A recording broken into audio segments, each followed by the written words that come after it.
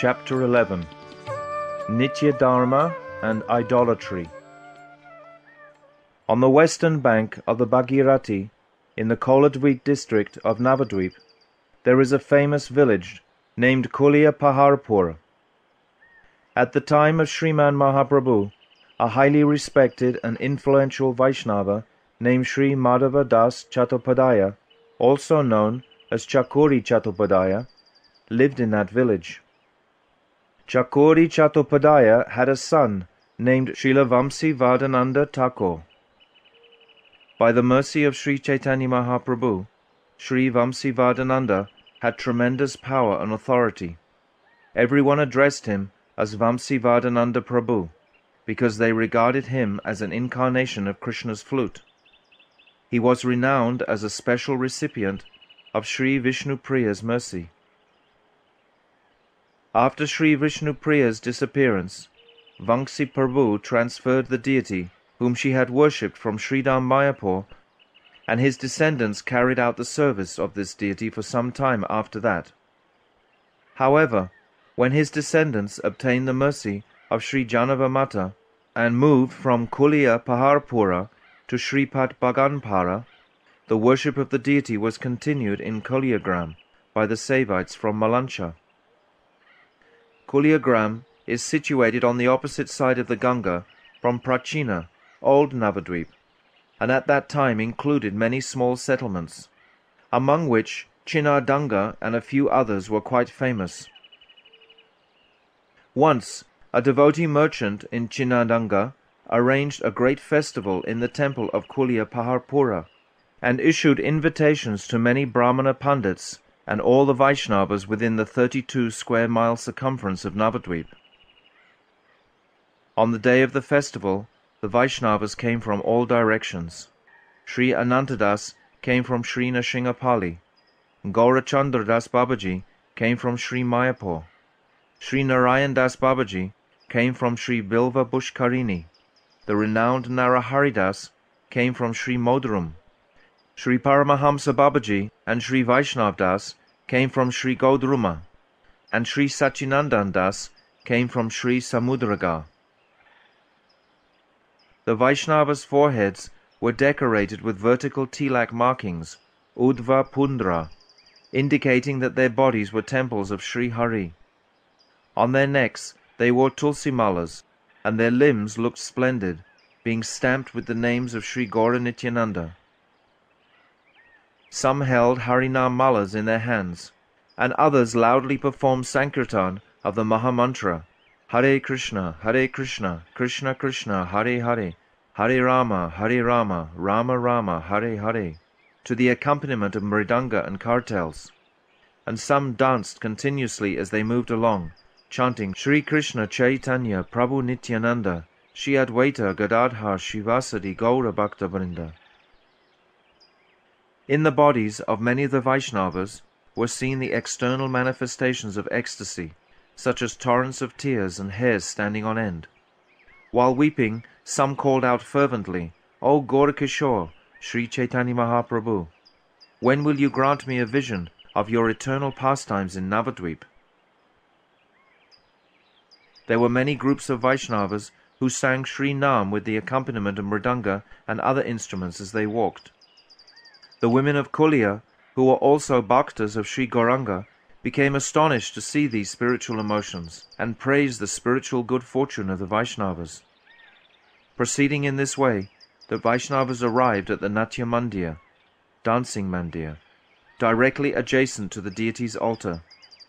This was where Sriman Mahaprabhu would dance and perform Sankirtan. The merchant who was sponsoring the festival greeted all of them. As a symbol of submission, he wore cloth around his neck and fell at the Vaishnava's feet, expressing sentiments of great humility. When all the Vaishnavas were seated in the Natya Mandir, the temple sevaites brought prasadam flower garlands and placed them around their necks. The poetic shlokas of Sri Chaitanya Mangal were then melodiously chanted, and upon hearing the ambrosial lila of Sri Chaitanya Dev, the various sattvika bhavs further enhance the forms of the Vaishnavas.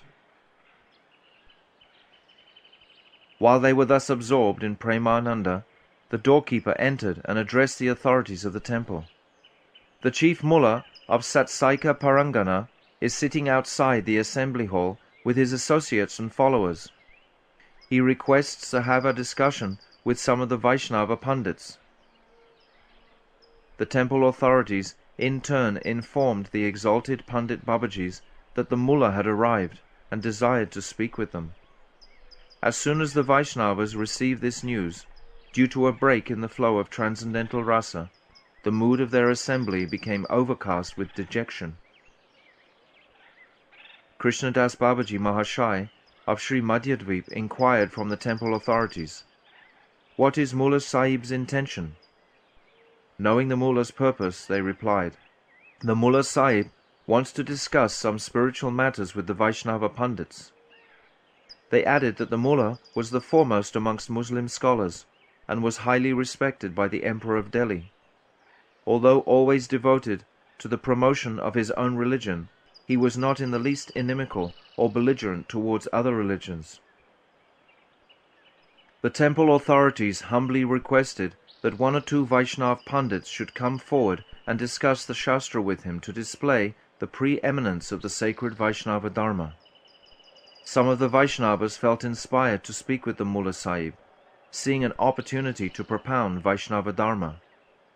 In the end, they decided amongst themselves that Gaurachandra Das Pandit Babaji of Sri Mayapur, Vaishnav Das Pandit Babaji of Sri Godruma, Prem Das Babaji of Janunagar, and Kalia Pavana Das Babaji of Champahatta should discourse with the Mullah Sahib. All the other Vaishnavas could also go to witness their discussion when the recitation of Sri Chaitanya Mangala was completed. Hearing this decision, the four Babajis loudly exclaimed, Jai Nityananda, and followed the Mahant to the large courtyard outside the temple. The mullah and his company were seated in the pleasant cooling shade of a large banyan tree in the courtyard, and they respectfully stood up to cordially receive the Vaishnavas.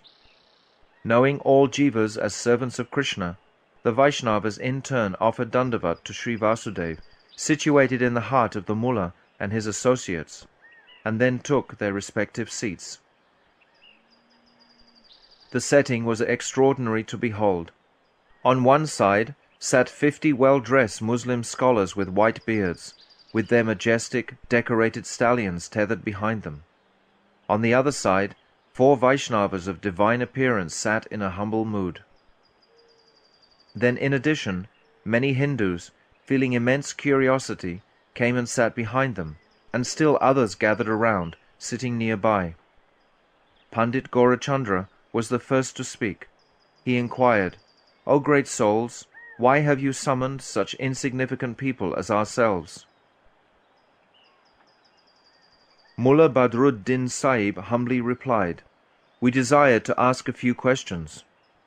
Pandit Gaurachandra said, What knowledge might we have that can possibly answer your erudite questions? Badruddin Sahib came a little closer and said, Brothers, the Devas and Devis have been worshipped in Hindu society since ancient times. Now, we see in our Quran Sharif that Allah is one, not two, and that He has no form. It is an offense to make an image of Him and worship it.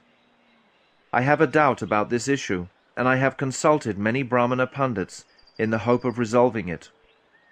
Those Pandits replied that Allah is actually formless. However, one cannot possibly conceive of that which has no form. Therefore, one should first make an imaginary form of Allah and meditate upon Him by worshipping that form. However, I am not satisfied with this answer because creating an imaginary form of Allah is the work of Satan. It is known as But, and it is completely forbidden to worship it. Far from pleasing Allah, such worship only makes one subject to his punishment. We have heard that your original preceptor, Sri Chaitanya Dev, corrected all the faults in Hindu Dharma, yet his Sampradaya also makes provision for worshipping material forms.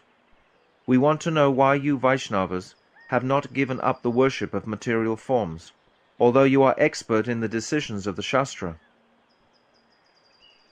The Vaishnav Pandits were inwardly amused at the mullah's question.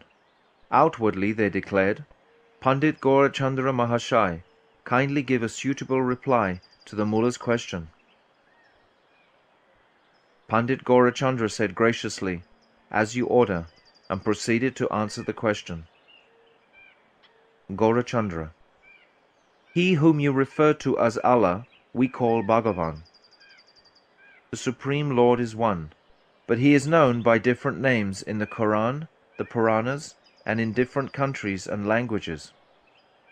The prime consideration is that the name which expresses all the Supreme Lord's characteristics is especially worthy of homage. For this reason, we have greater esteem for the name Bhagavan than for the names Allah, Brahman, and Paramatma. The word Allah refers to that being who has no superior, but we do not consider that greatness or supremacy is the highest characteristic of the Lord. Rather, the characteristic which evokes the highest degree of wonder, chamatkarti, and sweetness, madhuri, is worthy of the utmost regard. Something that is exceedingly great inspires one type of wonder, but minuteness is a counterpart to greatness, and it inspires another type of wonder. Hence, the name Allah does not express the highest limit of wonder, because it expresses greatness but not minuteness. On the other hand, the word Bhagavan implies every type of wonder imaginable. The first characteristic of Bhagavan is complete Aishwarya, opulence, which refers to the ultimate limit of greatness and minuteness. The second characteristic is that he is the most powerful, because he possesses all Shaktis, Sarva Shaktimata. That which is beyond the reach of human intellect is governed by Ishvara's Achintya Shakti, inconceivable potency, by which he simultaneously possesses form and is formless. If one thinks that Ishvara cannot have a form, one rejects his Achintya Shakti, by which Bhagavan manifests his eternal form and pastimes before his bhaktas. Allah, Brahma, or Paramatma are Nirakara, formless, so they do not have any special wonderful characteristics. The third characteristic of Bhagavan is that he is always auspicious and all opulent, Mangalamaya, so that his pastimes are full of nectar. His fourth characteristic is that he possesses all beauty, Sundarya, and all living beings who are endowed with transcendental vision see him as the most beautiful person. Bhagavan's fifth characteristic is that he has limitless knowledge, Ashesh Gyan. This means he is pure, complete, omniscient, and transcendental to mundane matter. His form is the very embodiment of consciousness and is beyond all material elements, Bhut. His sixth characteristic is that even though he is the master and controller of all jivas, he is unattached, nirlepa, and independent, swatantra. These are Bhagavan's six primary characteristics. Bhagavan has two manifestations, his feature of Aishwarya, majesty, and his feature of Madhurya, sweetness. His Madhurya manifestation is the supreme friend for the jivas, and it is that personality known as Krishna or Chaitanya who is the Lord of our hearts. You have said that worshipping some imaginary form of the Lord is worship of material forms, Bhut Parast, and we also agree with that. The Dharma of the Vaishnavas is to worship the fully conscious eternal deity form of Bhagavan. Therefore idolatry, Bhut Parast, is not part of the Vaishnava doctrine. One should clearly understand that the Vaishnava's worship of the deity is not idolatry. One cannot prohibit deity worship simply because some books prescribe idolatry.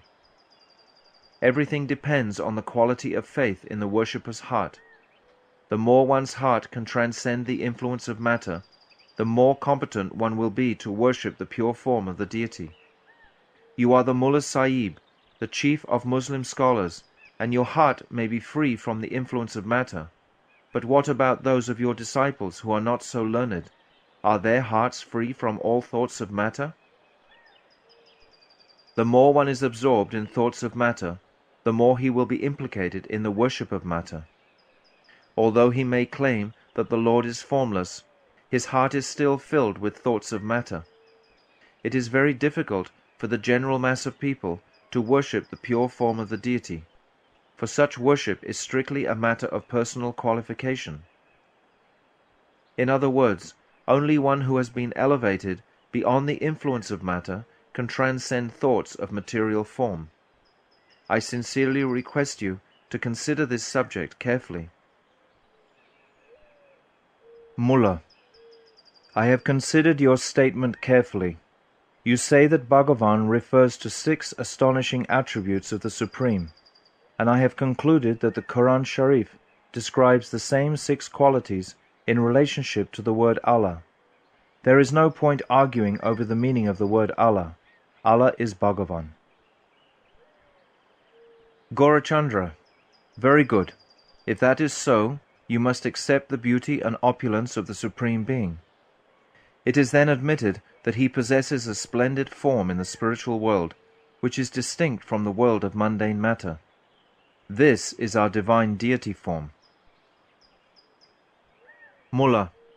In our Quran, it is written that the Supreme Entity has a divine, all-conscious form, so we are compelled to accept this fact. However, any image of that spiritual form is material. That is what we call Bhut. The worship of Bhut is not the worship of the Supreme Being. Please tell me your viewpoint on this. Gaurachandra. The Vaishnava Shastras explain how to worship the divine spiritual deity form of Bhagavan. Elevated devotees should not worship material objects composed of earth, water, fire, or other elements. It is said in the Srimad Bhagavatam 10.84.13 Yasyatma buddhi kunape tridatuke svadi kalatra dishuboma ijyadi yat tirtha buddhi salile nakarhichi jane svabigeshu saeva gokara If one considers this corpse-like body made of mucus, bile and air to be his real self, if he thinks his wife, children, and other bodily relatives his own, if one regards the worshipable deity form to be simply transformations of earth, such as wood or stone, or if one goes to a place of pilgrimage to take bath, but never hears from sadhus who are fully conversant with the absolute truth, such a person, although guised in a human form, is certainly no better than an ass or a cow. It is said in the Gita, 925 Bhutani Yanti Bhutejya those who worship matter go to matter. We see from these and many other conclusive statements that there is no basis in Shastra for the worship of dead matter. There is an important point to consider in this. Human beings have different degrees of qualification according to their knowledge and sanskar. Only those who can understand pure spiritual existence are competent to worship the pure spiritual form of the deity. One's understanding is proportionate to one's development in this regard. Those who are the least eligible, Kanishta Adhikari, cannot understand the pure spiritual state of existence. Even when such people meditate on the Lord within their minds, the form that they imagine is material, and meditating on a material form within the mind is the same as constructing a form of physical elements and regarding it as the Lord's form. That is why it is beneficial for a person on this level of eligibility to worship the deity. Factually speaking, it would be most inauspicious for the general class of people if there were no worship of deities. When ordinary jivas become inclined towards the service of the Lord, they become despondent if they cannot see the deity form of the Lord before them. In religions where there is no worship of the deity, Members who are on a low level of spiritual qualification are highly materialistic and oblivious to Bhagavan. Therefore, worship of the deity is the foundation of religion for all humanity. The form of Bhagavan is revealed to the Mahajans through their trance of unalloyed Gyan Yoga, and they meditate on that pure transcendental form in their hearts, which are purified by bhakti. When the Bhakta's heart is revealed to the world after continuous meditation, Sri Hari's transcendental form is reflected from the Bhakta's heart into this world. And when the divine form of the Lord is reflected in this way by the Mahajans, it becomes the form of the deity. The deity form is always Chinmaya, spiritual and conscious, for those who are on the highest platform of eligibility. Those on the intermediate level see the deity as endowed with perception and awareness, Manomaya. This means that the intermediate devotee has faith that the deity is conscious of his thoughts and prayers and accepts his mood of worship. However, the intermediate devotee, unlike the advanced devotee, does not directly perceive the deity as the spiritual all-conscious form of Sri Hari. Those on the lowest level initially see the deity as material, Jad Maya, but in time the deity reveals his pure spiritual form to the intelligence purified by spiritual love. Consequently, all classes of devotees should worship the deity form of Bhagavan. It is unnecessary to worship an imaginary form, but it is highly beneficial to worship Bhagavan's eternal deity form. The Vaishnava Sampradayas give this provision for people on these three levels of eligibility to worship the deity. There is no fault in this, for it is the only arrangement by which the jivas can gradually attain auspiciousness. This is confirmed in Srimad Bhagavatam 11, 14, 26. Yata yatatma parimrijayate sau mat punyagata shravana bidhanai tata tata pashyati vastu shukshman chakshu yataivagyana samprayuktam. O Uddhava, as the eyes that are treated with therapeutic ointment can see very minute objects, similarly, when the heart is cleansed of material contamination by hearing and reciting the narrations of my supremely pure activities, it can see my subtle transcendental form, which is beyond the purview of matter. The Jivatma is covered by the material mind, and in this state he cannot know himself or render service to Paramatma. However, by performing sadhan bhakti, which consists of hearing, chanting, and other devotional practices, the Atma gradually develops spiritual power. As that power increases, material bondage slackens, and the more material bondage is relaxed, the more the soul's own nature comes into ascendancy. Thus one gradually attains direct perception of the self and Ishvara, and engages directly in spiritual activities. Some people think one should endeavor to realize the absolute truth by rejecting all that is not truth. This is known as the cultivation of dry knowledge. What power does a conditioned soul have to renounce objects that are not inherently real? Can a prisoner who is confined to a cell liberate himself simply by desiring to do so? His objective should be to eradicate the offense that has placed him in bondage. The Jiva Atma's principal defect is that he has forgotten that he is an eternal servant of Bhagavan, and that is why he is bound by Maya and forced to suffer material happiness, distress, and repeated birth and death in this world. Although a person may initially be busy in sense gratification, if for some reason or another his mind becomes a little inclined towards Ishvara, and he regularly takes darshan of the deity and hears Lila Katha, his innate bhav, nature, of being the servant of Sri Hari will be strengthened. The more strength this bhav develops, the more competent he becomes to perceive spirit directly. The only hope of spiritual progress for those who are the least spiritually qualified is to serve the deity and to hear and chant about Sri Hari. That is why the Mahajans have established service to the deity. Mulla, isn't meditating on a form of the Lord within one's mind superior to fashioning a form out of material elements? Gaurachandra. They are one and the same. The mind follows matter, and whatever it thinks of is also material. We may say that Brahman is all-pervading, but how can our minds actually conceive of this? We will be forced to think of it in terms of the all-pervasiveness of the sky. How can the mind go beyond this consideration? Our conception of Brahman is therefore constrained by the limitations of material space.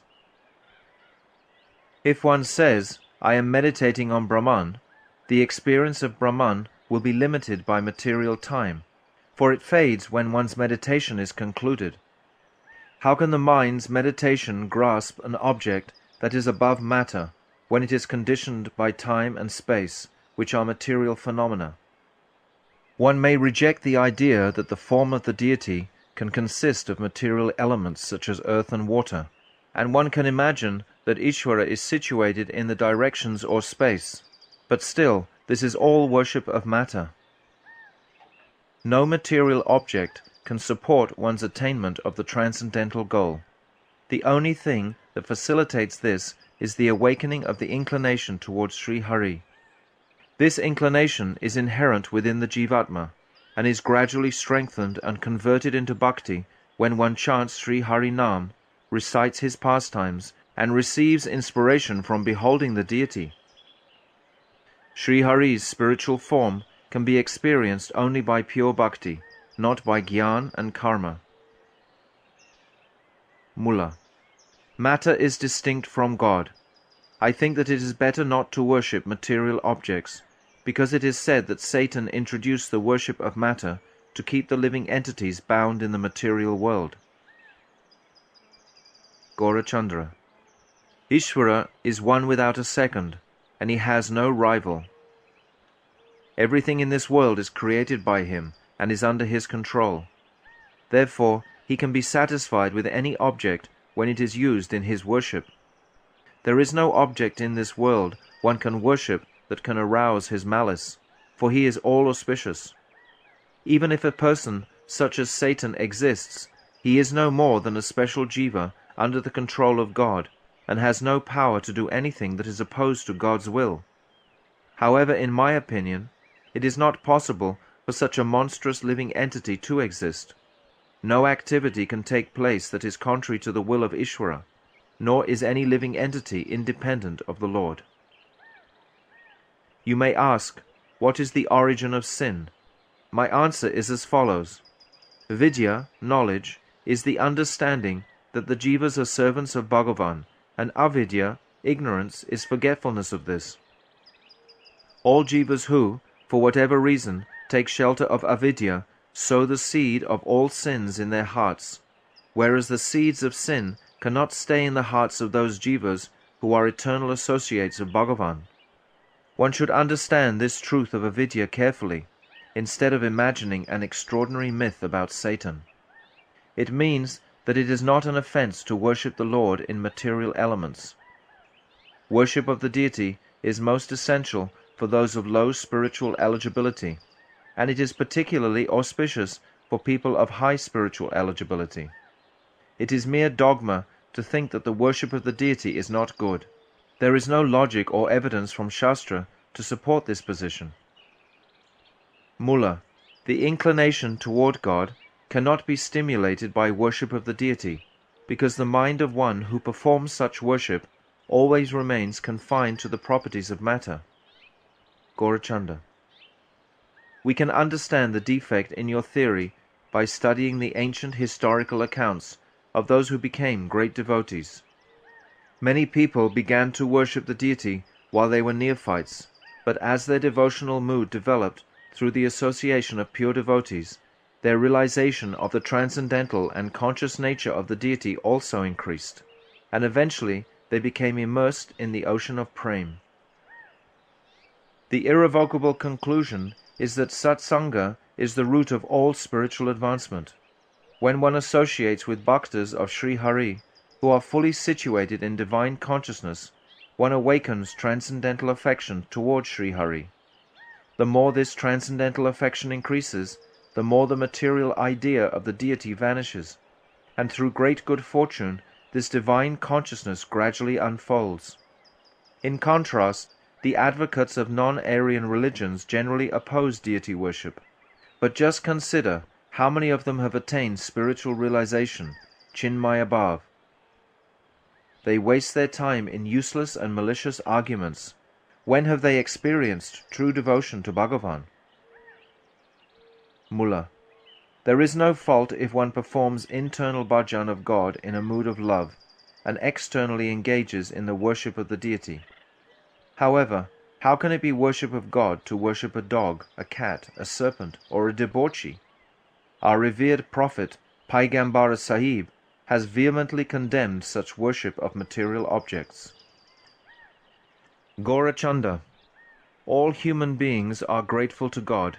No matter how many sins they commit, occasionally they become aware that God is the supreme entity, and when they are endowed with this belief, they bow down before the extraordinary things of this world.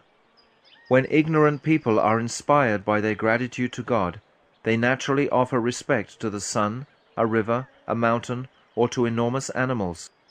They express their hearts before such things and display submission to them. Granted, there is a vast difference between this type of worship of material objects and transcendental affection towards the Lord. Still, when such ignorant people adopt a mood of gratitude to God and reverence towards material objects, it gradually produces a positive effect. Therefore, if one examines the situation logically, one cannot ascribe any fault to them. Meditation on the formless, all-pervading feature of the Lord, and offering namaz and other types of prayers to an impersonal aspect of the Lord are also devoid of pure transcendental love. So how are these methods any different from the worship of a cat, for example? We consider that it is essential to arouse bhav towards Bhagavan by any means possible. The door leading to gradual elevation is firmly shut if people on any level of worship are ridiculed or condemned. Those who fall under the spell of dogmatism and therefore become sectarian lack the qualities of generosity and munificence.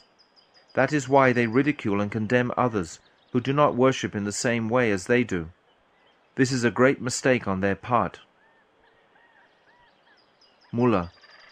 Then must we conclude that everything is God and that to worship anything at all is worship of God, that would mean that worship of sinful objects or the sinful tendency is also worship of God. Do all these different types of worship please God? Gaurachandra. We do not say that everything is God. On the contrary, God is distinct from all these things. God creates and controls everything, and everything has a relationship with Him. The thread of that relationship runs through everything, and that is why one may inquire about the presence of God in all things. As one inquires into the presence of God in all things, one can gradually taste or experience the supreme transcendental unconscious entity. This is expressed in the sutra Jijnasa Asvadanavadhi. Inquiry leads to experience. You are all learned pundits. If you kindly consider this matter in a generous mood, you will understand. We Vaishnavas are completely disinterested in material things, and we do not want to enter into long drawn-out arguments. If you kindly permit us, we shall now leave you to listen to the sublime narration of Sri Chaitanya Mangala. It was not evident what conclusion the Mullah Sahib reached as a result of this discussion. After a short silence he said, I have been pleased to hear your point of view. On another day I will return and inquire further. Now it is late, and I wish to return home. He and his party then mounted their horses and departed for Satsaika Parangana. The Babajis loudly uttered the name of Sri Hari with great delight and entered the temple to hear the recitation of Sri Chaitanya Mangala. Thus ends the eleventh chapter of Jaiva-Dharma entitled Nitya Dharma and Idolatry.